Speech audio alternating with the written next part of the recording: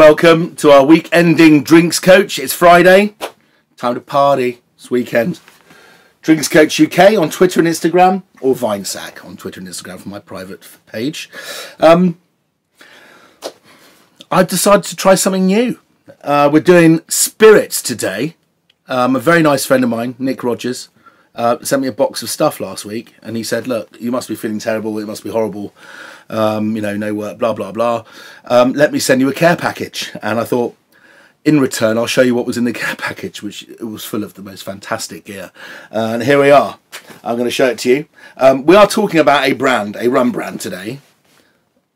Plantation.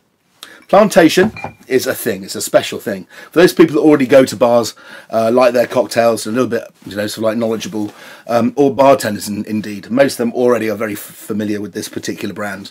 Uh, I'm not sure how long it's been going. Um, I imagine since the mid 90s, possibly, mid, well, late 90s.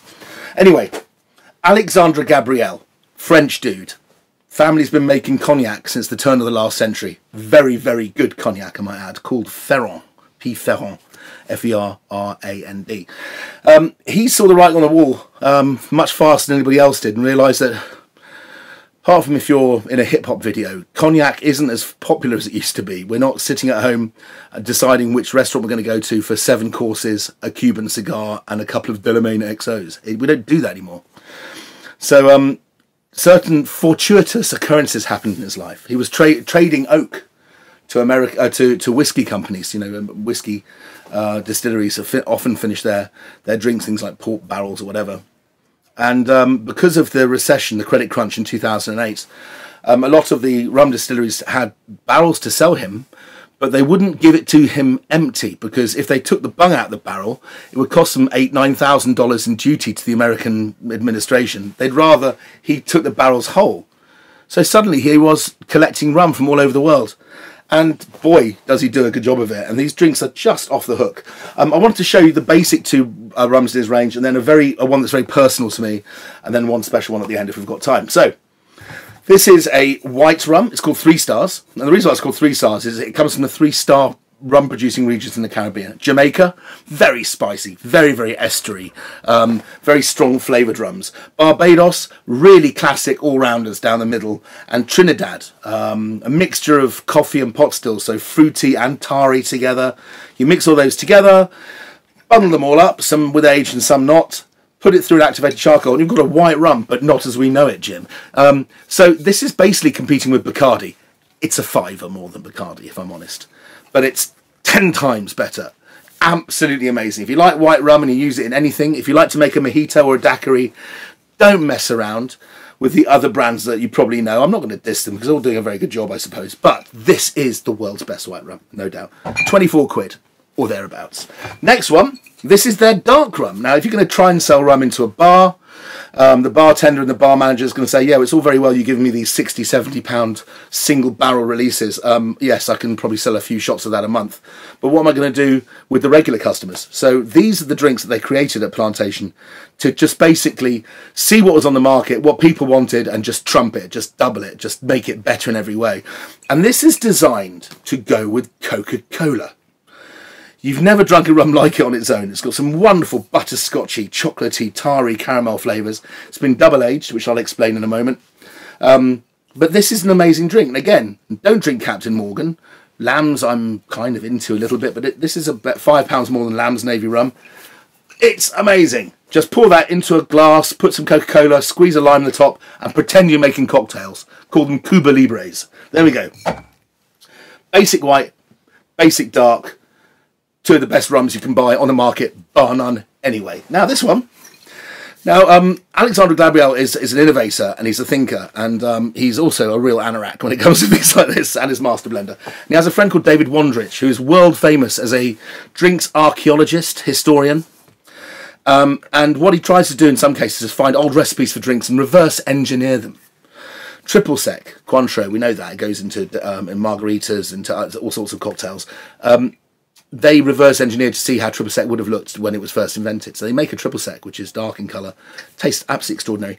Um, for example, um, this is a drink which really epitomises what plantation is all about. It's called Stiggins Fancy Pineapple Rum. It's allowed to be called rum in some countries, not in others.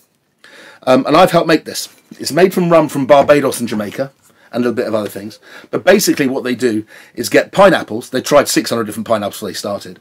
They peel the pineapple, put the husks into the white rum, which they've already made. They put the flesh chopped up into a big muslin tea bag um, of these beautiful Victoria pineapples, which come from Mauritius and the Reunion Islands. And they're incredible sweet things. But they cost about five each this big time. And they put the flesh into them. And then this is steeped for six weeks. This is distilled and then stored for six months. And then mixed together to make this. One of the most exciting new spirits in the world in the last 10 years. Just, oh, so love this. Anyway, I was at Chateau Bonbonnet in Cognac last year in the summer on the hottest day in history. 46 and a half degrees it was under the gazebo, and they were squirting water in our face while we, with gloves on, uh, tried to peel the pineapples out in the sunshine under a gazebo. Uh, we all just piled into the the chateau fountain at the end with um, inflatable flamingos and just drank this and had the most incredible party.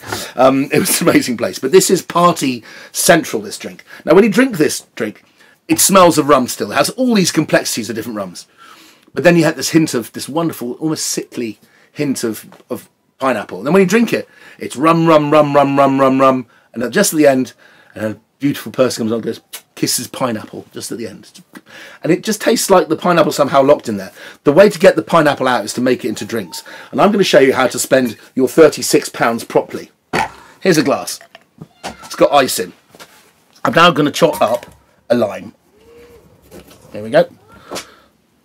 Each half of a lime produces about 20 mils of juice, which is important, which I'll explain in a minute. Oof, making cocktails in a tiny little corner of a sofa. Here we are. There's one Now the rule is when you're making these kind of drinks is it's 50 mils of drink, 20 mils of sour, 10 mils of sugar. Whether it's a margarita or a daiquiri or any other associated drink, a gin sour, that always works. 50 mils, that's a double. 20 mils, that's like a whole lime. And 10 mils, that's like two bar spoons of sugar. Right, so lime is in there. Now we're going to put in the Stiggins fancy pineapple rum. Ooh, quickly, quickly, quickly. Mm. That'll do it. What were we missing? Sugar. Well, I made this earlier. It takes two minutes. I just got a saucepan on the on the on the hob, 100 mils of water, 100 grams of sugar. This is called stock bartender syrup. If you use gomme syrup bought from the supermarket, it's twice as strong, so be careful. Use less. We're going to put in 20 mils of that. And that, ladies and gentlemen, is how you make a daiquiri. It's as simple as that. Lime, rum, sugar. Ooh, more ice in there. There we go.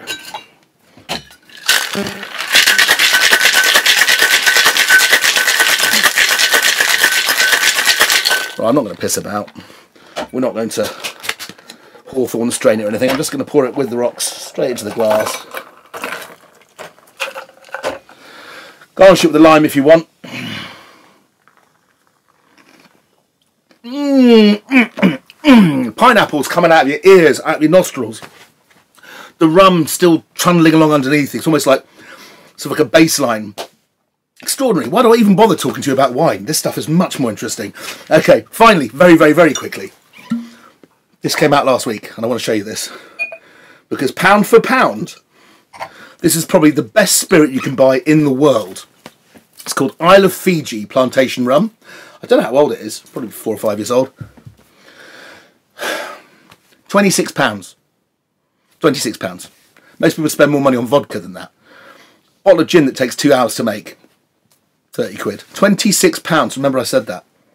Oh, God, it's incredible. It smells of caramelized buttery bananas and toffee and butter toffee and baked fruit and guava and mango juice. Ugh.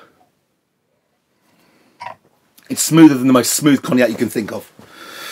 I don't know what to say really. See you Monday.